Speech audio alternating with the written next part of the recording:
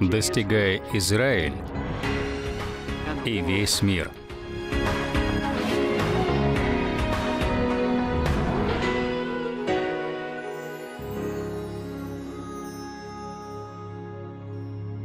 Шалом, возлюбленные, мира и благословения вам.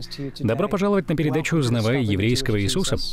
Синтия, сегодня мы будем говорить о Пасхе. Но прежде чем мы перейдем к посланию, я хочу спросить тебя, какие твои любимые воспоминания о Пасхе? Я люблю общение на Пасху.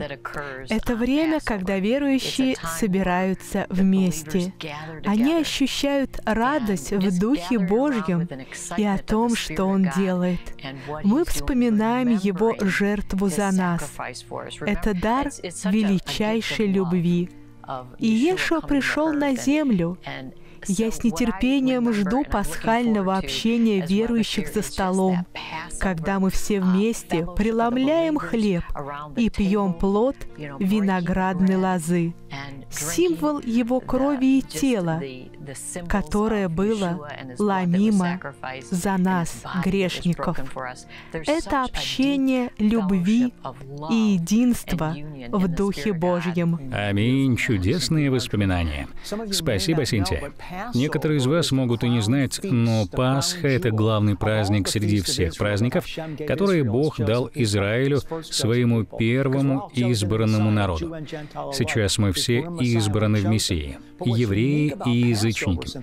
Если мы в Мессии, мы избраны, но Пасха уникальна тем, как сказала Синтия, что главное празднование проходит не в синагоге. Это праздник, который в первую очередь празднуют дома. 29 раз в книге Откровения Иешуа называют Агнцем Божьим. Это указывает на Пасху. Сегодня мы углубимся в Божье Слово и посмотрим на Пасху не только в историческом контексте, но и в настоящем времени.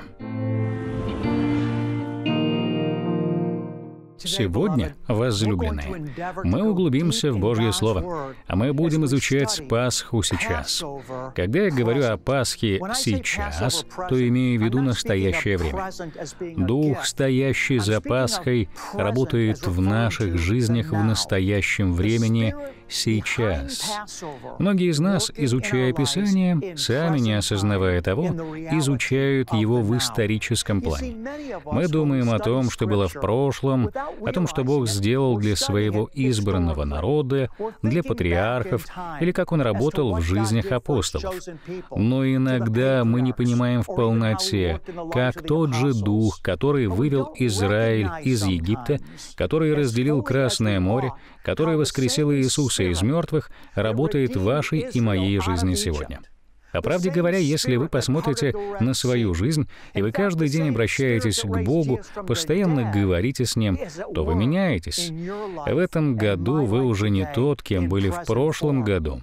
А в этом месяце вы не тот же, что были в прошлом месяце. А почему?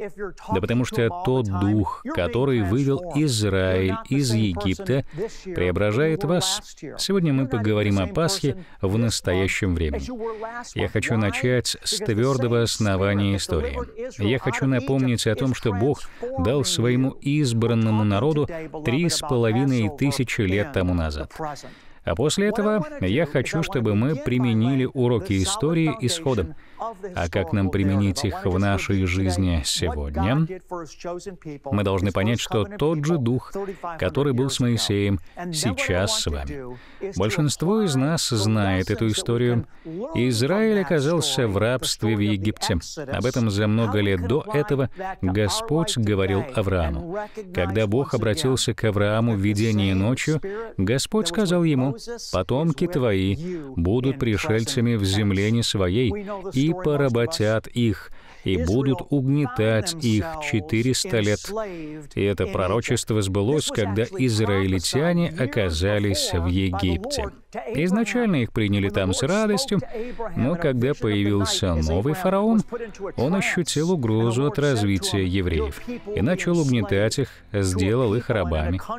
Интересно, что то же, что случилось с Израилем три с половиной тысячи лет назад в Египте, повторяется. Когда они начали процветать там, фараон или правительство ощутили угрозу. И в ответ на это они начали порабощать их, И тот же феномен мы наблюдаем и сегодня. Он повторялся снова и снова, куда бы евреи ни шли. Они уходили в разные страны Европы, начинали процветать там, начинали обретать навыки и профессии. И что происходило? Правительство реагировало и говорило, эти евреи захватят нас, захватят мир. Из-за этого их начинали гнать. Начинались погромы, их изгоняли из разных стран. Это очень похоже на то, что происходило с Израилем в Египте. Итак, Израиль жил в Египте. Фараон ощутил угрозу и начал угнетать их. Они стали рабами и пробыли ими 400 лет. Вы знаете, что было дальше? Это интересная история. Господь говорит Моисею, «Я услышал крик моего народа». И вот что интересно, они были рабами почти 400 лет. Ужасное рабство и гнет. И через 400 лет Господь говорит Моисею, «Я услышал крик моего народа и пришел, чтобы избавить их». По своей человеческой природе я часто говорил, «Отче, спасибо, что услышал их». Но как насчет тех, кто умер до того, как ты спас их. Это весьма интересный феномен. Господь слышал, Он не был безразличен. Он сострадал им, но он выждал 400 лет, прежде чем сделать что-то. И это тайна. Я не знаю, почему Господь не начал действовать сразу, как только фараон начал плохо относиться к израильтянам. Я не знаю, почему Господь не сокрушил сразу же египтян, но Он ждал. Единственное, что мы можем сказать, когда мы не понимаем Божьи пути, мы должны доверять Его сердцу. У Бога была своя цель, и Он отреагировал. Он обратился к Моисею и сказал, «Я использую тебя, чтобы вывести свой народ из Египта. Это мой народ. Я хочу, чтобы ты привел их в пустыню, где они смогут поклониться мне и принести жертвы. Вы знаете историю. Моисей пришел к фараону и сказал, Господь говорит, «Отпусти мой народ». Фараон отказался сделать это. Из-за этого десять казней сошли на египтян. Казни становились все хуже и хуже. И после десятой казни фараон сказал, «Хватит, идите, убирайтесь отсюда.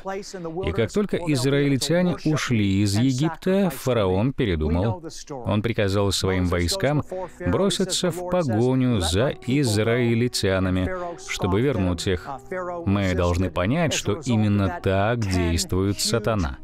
Сатана понимает лишь одну вещь — силу. Фараон сказал, «Хорошо, пусть идут». Но лишь тогда, когда Божья сила проявилась так, что у фараона не осталось выбора. Когда фараон потерял своего сына-первенца, и все остальные семьи в Египте потеряли своих первенцев, сила Божья заставила фараона упасть на колени. Но как только казни закончились, фараон вернулся к тому же, чем занимался раньше. Он захотел вернуть израильтян в рабство. Сатана понимает лишь силу. Мы видим это на примере фараона. Как только сила отошла, как только казни закончились, он сразу же вернулся к сатанинской природе. Он сразу же захотел вернуть Божий народ под свой гнет.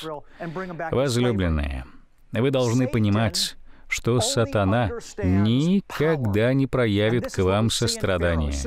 Сатана не будет сочувствовать вам. Сатана никогда не ответит на вашу просьбу. Единственное, на что реагирует тьма, это сила и истина. Истина и сила. Это означает, что если мы хотим быть свободными, то должны научиться брать власть и силу истины, чтобы побеждать тьму. Она не будет подчиняться нам или господству Божьего Духа в нашей жизни по-другому.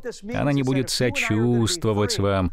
Она не перестанет мучить вас, пока мы не заставим ее. И эта история продолжается. Израиль начинает свой выход из Египта. Они вышли и отправились к земле обетованной. И тут фараон снова передумывает, и египтяне бросаются в погоню. Израиль подошел к Красному морю и оказался в ловушке. Большинство из нас знает эту историю. Они не могли идти дальше. Перед ними огромное море. Они не могут переплыть его, но они не могут и вернуться назад. Почему? Потому что за ними армии фараона. И что происходит? Бог ставит преграду между египтянами и израильтянами. Он говорит Моисею, «Протяни свой посох над морем». Моисей протягивает свой посох, и море расходится. Это, возлюбленные, символ Вознесения. Почему? Десять казней, которые сошли на Египет, были еще, когда израильтяне находились в Египте. Точно так же церковь будет находиться в мире. Я говорил об этом много раз. И лишь перед тем, как изольется последний гнев Божий, его народ будет спасен. Так было в Египте. Бог провел свой народ через море, а затем излил свой гнев на египтян, утопив их, когда они последовали за израильтянами через море. Точно так же церковь будет в мире на протяжении большей части скорби, о которой говорится в книге Откровения. И лишь перед тем, как будут излиты чаши гнева, семь последних судов. Прямо перед тем, как будут излиты чаши гнева, Бог заберет свой народ из мира, точно так же, как Он провел свой народ через море в древние времена. Он разделит небо и проведет свой народ через облака, вознесет в свое присутствие. А после этого Он изольет последние чаши гнева на мир, как Он сделал это, когда утопил египтян в море. Именно такой будет последовательность действий в последние дни. Мы, правда, и живем уже с вами в эти самые последние дни, но когда будет вознесение, тогда будет излияние.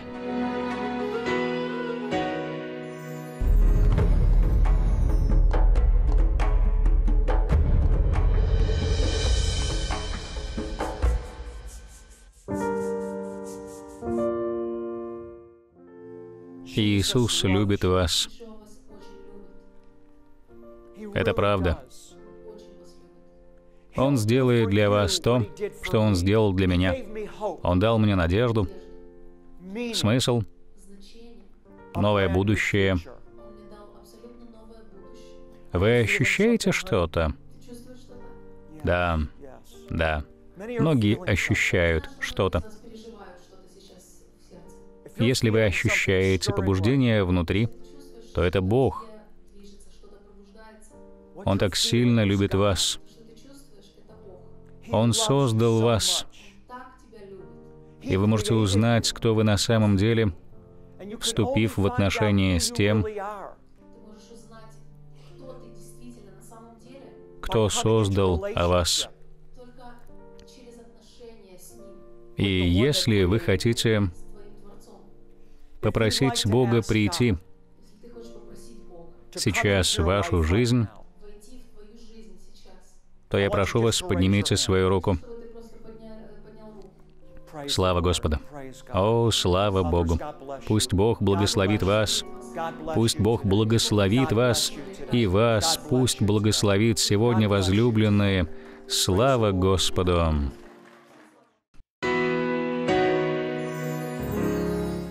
Это Пасха сейчас, потому что мы с вами приближаемся к времени, когда число язв, сходящих на мир, будет возрастать. Нас ждет еще больше проблем из-за перемен климата, из-за депрессии, из-за самоубийств, из-за стран отщепенцев, которые пытаются завладеть ядерным оружием. Нас ждет еще больше проблем с цензурой. Христиане и библейские ценности будут подданы цензуре. Число проблем будет возрастать возрастать. Суды Божии будут возрастать. И перед тем, как Бог изольет чистый гнев на мир, Он заберет свою церковь из мира в так называемом вознесении. Мы движемся к этому времени. История продолжается. Израиль перебирается на другой берег, и Бог сказал им, «Вы больше никогда не увидите своего врага». Он погубил их в море. Но прежде чем продолжить, я хочу сделать пару шагов назад и поговорить о том, как Господь Господь вывел свой народ из Египта с помощью крови пасхального агнца. Мы знаем эту историю. Бог проговорил к Моисею и сказал, «Я хочу, чтобы ты сказал моему народу, каждой семье, чтобы они взяли по чистому агнцу мужского рода. После этого они должны были исследовать агнца, убедиться в том, что он был без порока. Агнец жил с ними. А после того, как Агнец провел время с семьей, и семья убеждалась в том, что он без порока, каждая семья брала своего Агнца и убивала. Они брали кровь Агнца и наносили ее на косяки и перекладины дверей. Но давайте задумаемся над этим. Они брали непорочного агнца, который становился частью их семьи. Агнец жил с ними перед тем, как они приносили его в жертву. Они ели агнца, а когда агнца убивали, то перед тем, как приготовить его, отец не уходил с агнцем наедине, чтобы дети и жена не видели, потому что это неприятное зрелище.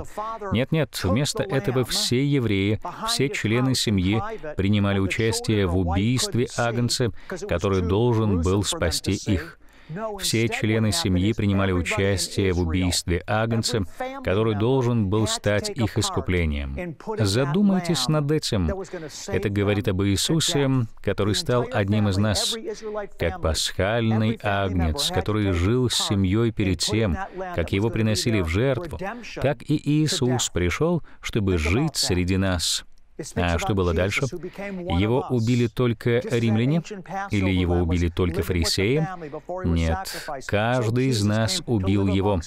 Как Каждый член еврейской семьи должен был сыграть свою роль в убийстве Агнца перед тем, как они приготавливали его и ели так и наши грехи, возлюбленные, прибили Иисуса ко кресту. Иисус сказал, что никто не может забрать жизнь у Него. Он сам отдал ее по своей инициативе за грехи этого мира. Мой грех наш грех, прибил Иисуса ко кресту. Когда они пронзили ему бок копьем и вытекла кровь, это копье представляло мой и ваш грех. Он изъязвлен был за грехи наши и мучим за беззаконие наше, и ранами его мы исцелились. Пасха сейчас.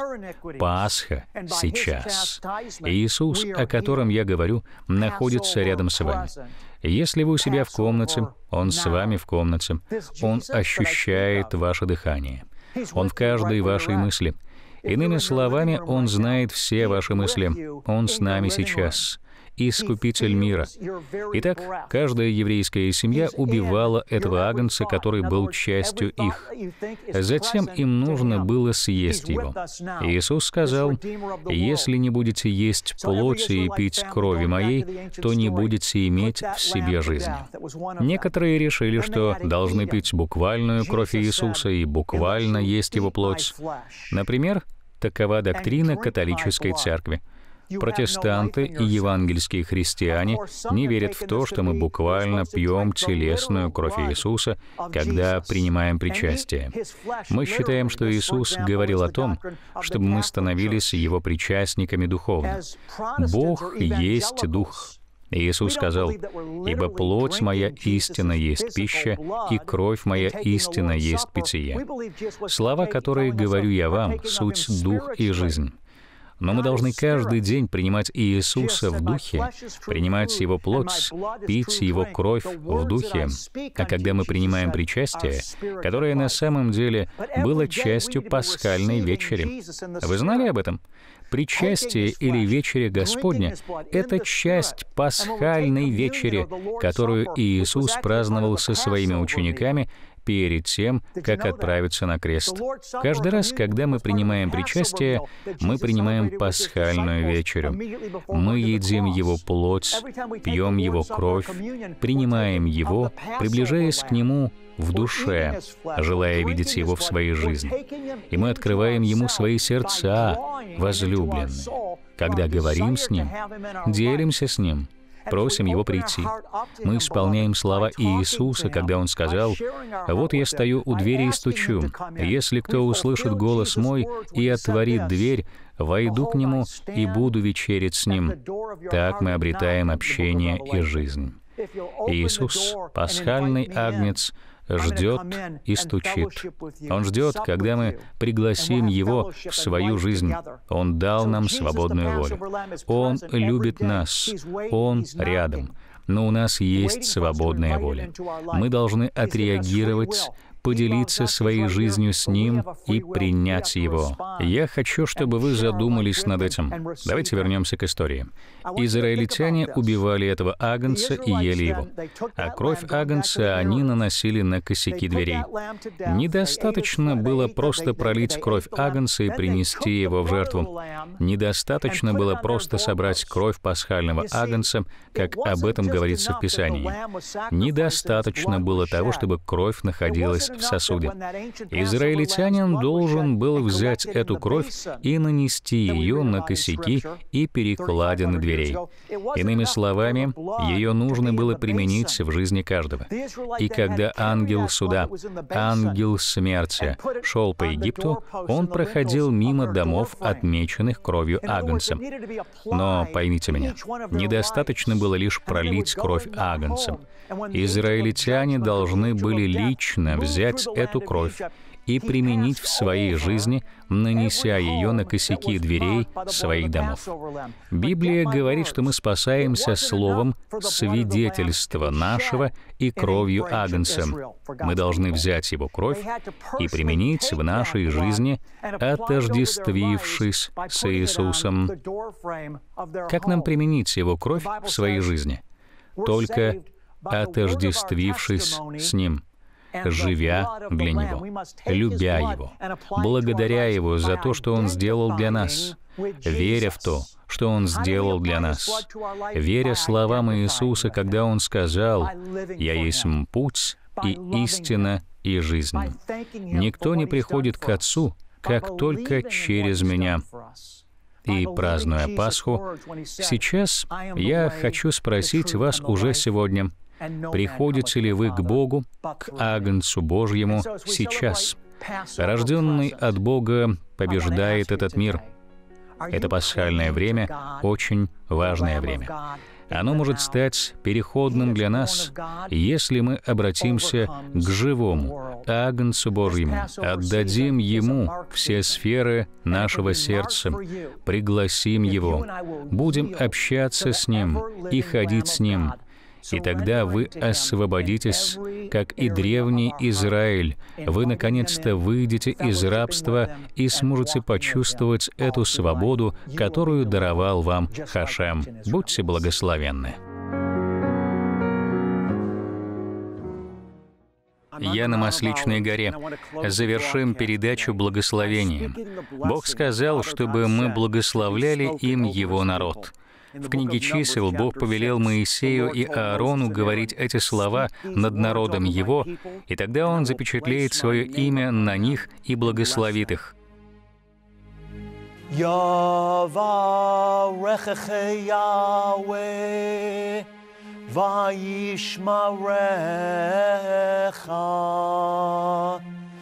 Ya'er Yahweh panav elecha ויחונך. יישא יהוה פניו אליך, ואשם לך. שלום.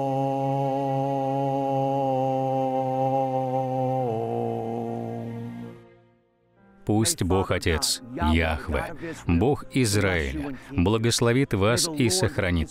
Пусть Господь презрит лицом Своим на вас и будет милостив к вам. Да обратит Господь лицо Свое на вас. И пусть Бог Отец продолжает непрестанно давать вам Божий мир. Если двое из вас согласятся на земле просить о всяком деле, то чего бы ни попросили, будет им от Отца Моего Небесного.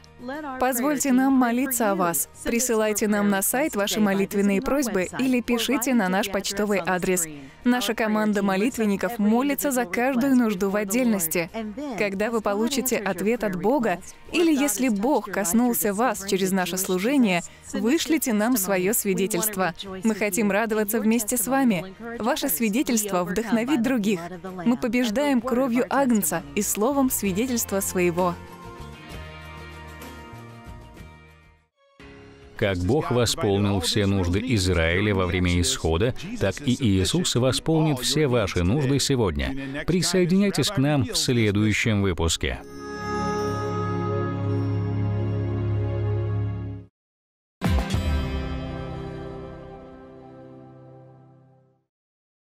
Возлюбленная, Бог дал мне дар прорыва, но для создания возможности прорыва нужны деньги. Вот почему я хочу предложить вам стать ежемесячным партнером передачи «Узнавая еврейского Иисуса». Есть множество людей, которые еще не знают о Господе, и мы не сможем достичь их без вашей помощи. Если Господь благословляет вас через это служение, если вы верите в то, что мир должен услышать те слова, которые я говорю, и что они могут помочь людям, то я хочу попросить вас стать партнером Господа через нашу передачу. Я уверен, что за все, что мы делаем для Царя Иисуса, нас ждет награда. Будучи людьми, мы понимаем, что значит находиться в разном настроении. Но знаете ли вы, что Божьи праздники также обладают разными настроениями? Например, Йом-Кипур, День Искупления, обладает весьма серьезным настроением, а время, в котором мы находимся сейчас, Пасха, это очень радостный праздник. Я помню, как собирался на Пасху со своими родными и друзьями. Все всегда были счастливы. Это время свободы и избавления. Пасха уникальна тем, что Господь призывал израильтян приходить в Иерусалим и приносить особую жертву в это время. Мы не живем под законом, но многие хотят принести особую жертву Богу Отцу через наше служение. Если вы хотите сделать это, возлюбленные, то я уверен, что Бог будет рад этому. Как глава служения, узнавая еврейского Иисуса, я хочу поблагодарить вас за то, что мы можем вещать и достигать людей для Бога по всему миру. Если вы хотите стать нашим партнером, то отправляйте свои пожертвования по адресу, который вы видите на экране. Для пожертвований кредитной картой позвоните нам по номеру 800 3 семерки 7835 или отправьте смс. Или же вы можете сделать это на нашем сайте.